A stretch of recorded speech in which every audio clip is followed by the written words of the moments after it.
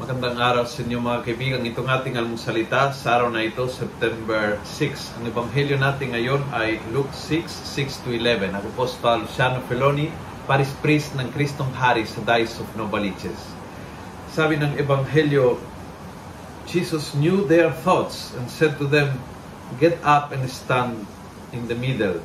Then he spoke to them, I want to ask you, what is allowed by the law on the Sabbath?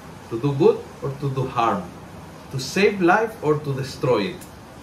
And Jesus looked around at them all. Napakaganda ho nangyari sa Ebanghelyo.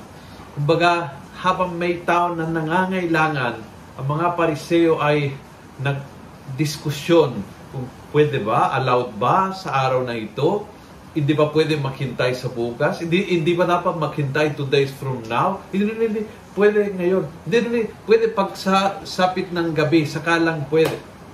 And the Lord said, come on guys, common sense. Yan siguro ang take up ko sa Ebanghelyo ngayon.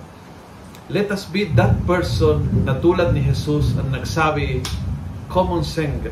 Please, common sense. Guys, tigilan natin yung kwentuhang walang saysay, tigilan natin yung usapang malayon sa totoong issue, tigilan natin yung pagdadivert ng attention, tigilan natin yung pag-away ng mga bagay-bagay. Samantalang tayo ay may ganitong problema sa pamilya. Huwag tayo mag-away sa mga bagay na walang kakwenta-kwenta. Sometimes it takes someone na tumindig at sabihin, Huy, common sense naman tayo at ibalik po yung usapan, yung attention, yung issue, yung yung focus, yung lakas, yung yung kilos at galaw sa totoong mahalaga.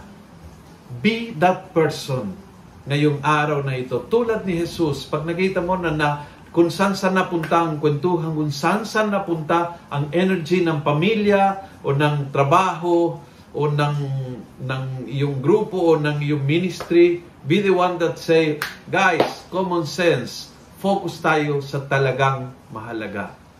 And you will be a blessing, simpleng by doing so.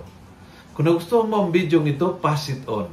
Punuin natin ng good news on social media at gawin natin viral araw-araw ang salita ng Diyos. God bless.